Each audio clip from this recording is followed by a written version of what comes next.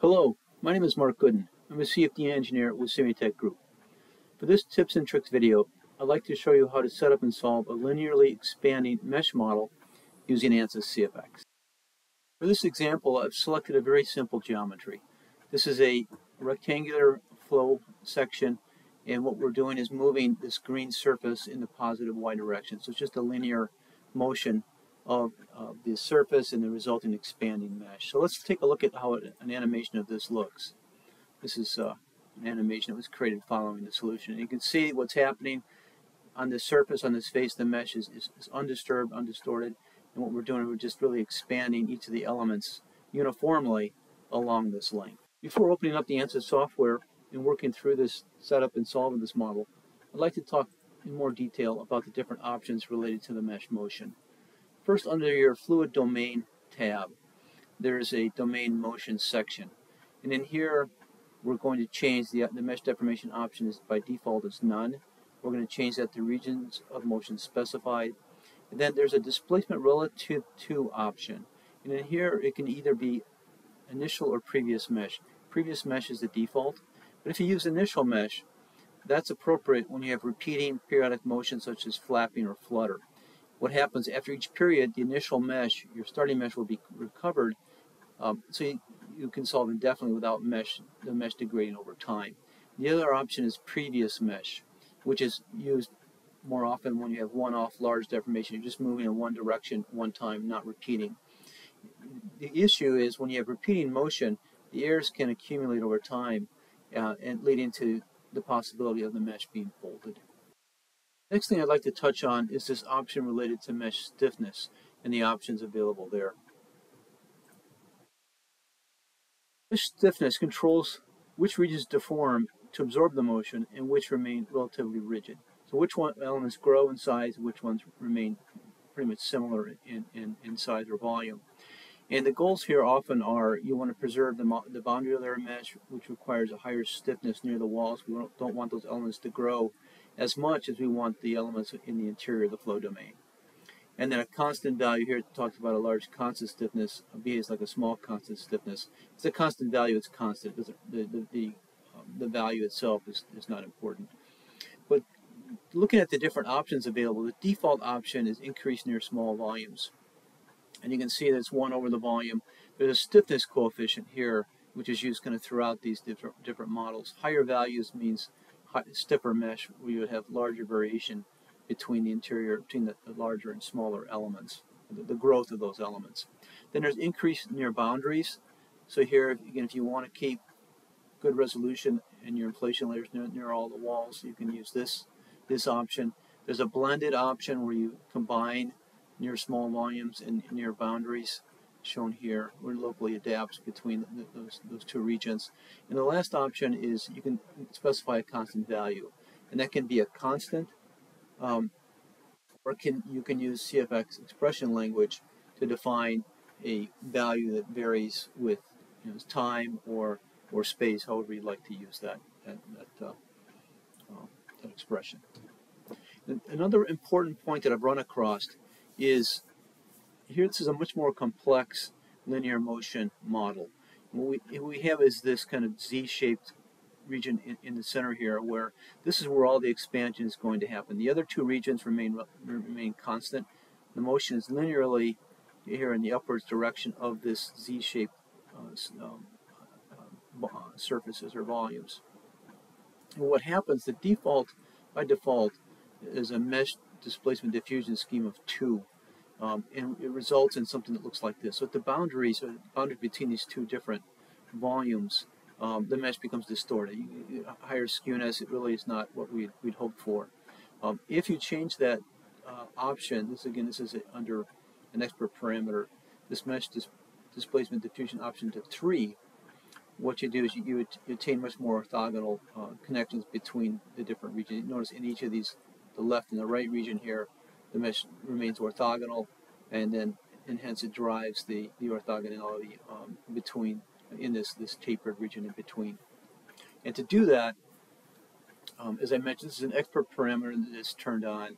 It's under uh, discretization tab, and you toggle on mesh dis displacement diffusion scheme. By default, uh, it's 2, um, and what we want to do is change it to 3. And the different options, what those mean, um, is if it's 1, it uses a central differencing scheme for both the interior and, and boundary uh, elements. If it's 2, it uses positive definite coefficients on the interior and the central. It, it uses central differencing on the boundaries. And in 3, you really get positive definite values both on the interior and the boundary. Um, and then option four is a blended scheme with central on the boundary. What I found is, is option three is often uh, very helpful um, and uh, uh, really cleans up any sort of uh, motion of a, uh, say, a, a, skewed or, or non um, uh, region that's not aligned with one of the axes. The motion is not aligned with the, one of the axes. Another helpful hint is when you're debugging your mesh motion, say you just want to try it out and see how things look, what you can do is go into the, again, expert parameter uh, area and uh, under the tab uh, model overrides, you can toggle on energies, fluids, turbulence. By default, all of these are, are set to true. It solves for each of these um, by default. You just change that over to false, and then what will happen is you'll have the mesh motion will still occur, but you won't uh, have the additional time uh, required to solve for the uh, your fluids or, or um, thermal simulation. So um, with that, let's open up um, ANSYS software and get started. So I've opened up my ANSYS Workbench project file. What we're looking at, at is the project schematic. You see here we have our, our SpaceClaim geometry component connected into a CFX analysis system. And I could have done all this within one analysis system, but I kept it separate because I'm planning later to do the similar do a similar simulation using ANSYS Fluent. So let's jump in. The, the, again, the geometry is very simple, just a rectangular box. So let's jump into meshing. I have that tab opened. Um, under meshing, what I've done, I'll expand out these two sections here, is you notice I've created a sweep mesh um, from this lower, say lower Y face to the upper Y face in, in, in the uh, Y direction. I've put inflation layers around the four corners of our, our rectangular flow domain. And I put some face sizing here as well, um, about 1.5 millimeters, just to provide some, some resolution on that face. Key thing here is your name selections. I've got a low Y face, uh, which is gonna, going to be stationary. I have the high Y face, that's where we will be applying the moving mesh uh, definition. And our outer walls, and all these outer walls um, are uh, no slip walls, but they will also again be deforming as this high Y face extends. And then I named the whole uh, fluid region um, as well for this particular application. So that's it, pretty simple on the meshing. So let's now open up the CFX setup branch and look at how to create this moving mesh model.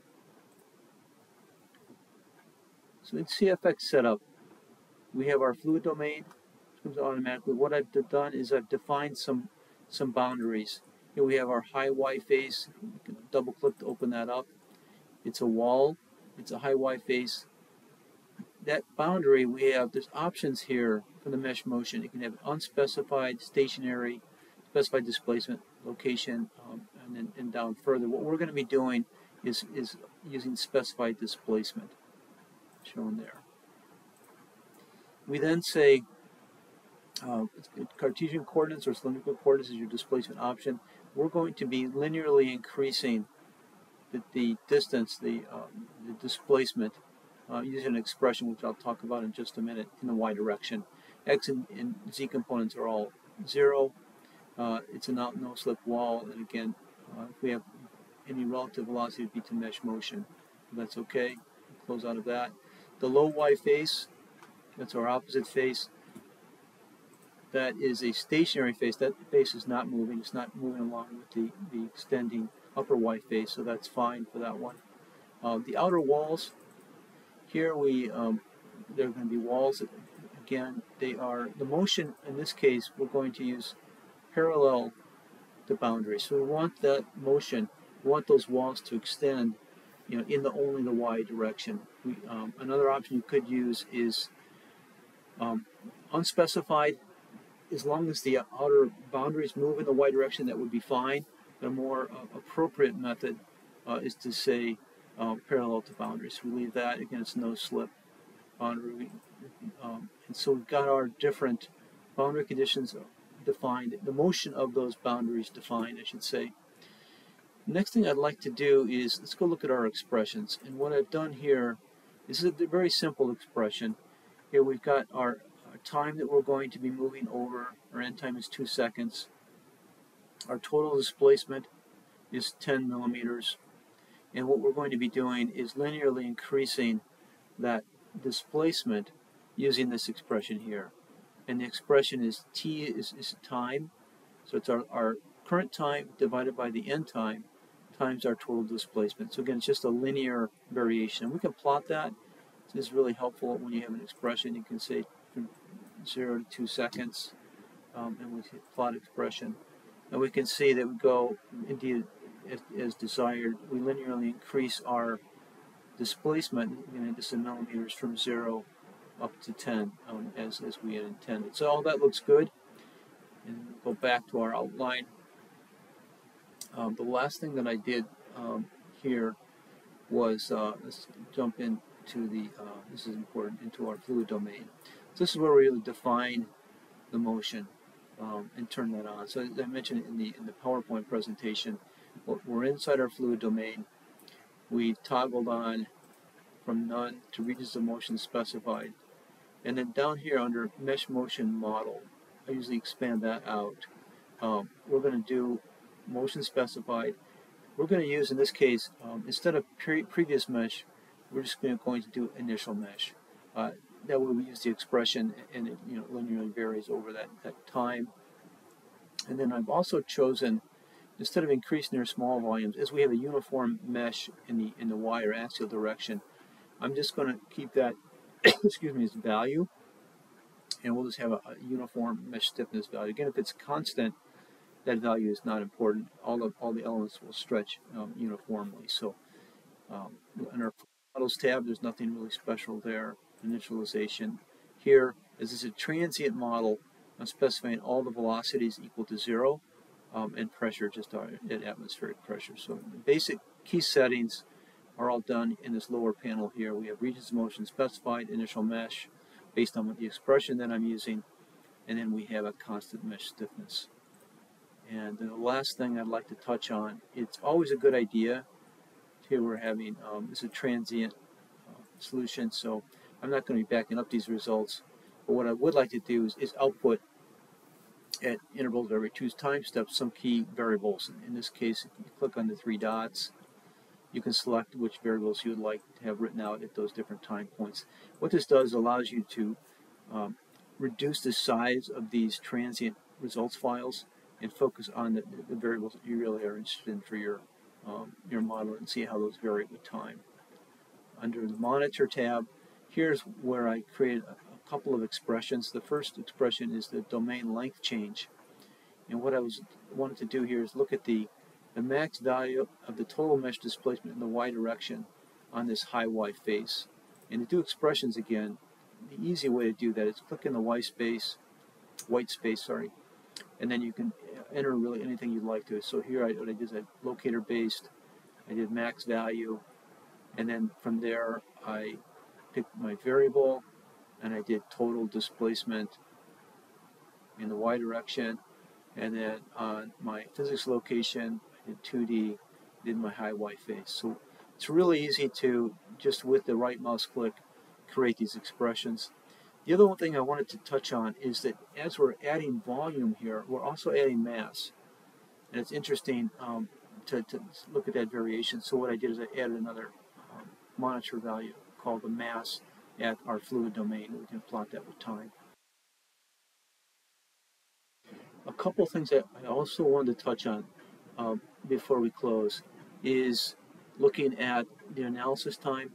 Here we run uh, our time steps are specified here, 0.025 seconds. And this is where I use the expression of end time to control when we stop the simulation. And the other thing I wanted to touch on is uh, if you want to in include expert parameters, to do that, you left mouse click on solver, right mouse, you say insert expert parameters. And this is where we would go in if we want to change our diffusion scheme here from 2 to 3, as I mentioned in the PowerPoint presentation, that would be done there. And if we move over a little to the right, the model overrides tab becomes visible. And then we can turn on our energy, our fluids, and our turbulence. These are all on by default, solving these equations. We could turn all those to false if we like. If we want to just focus on the mesh motion, make sure that is doing as we had you know intended.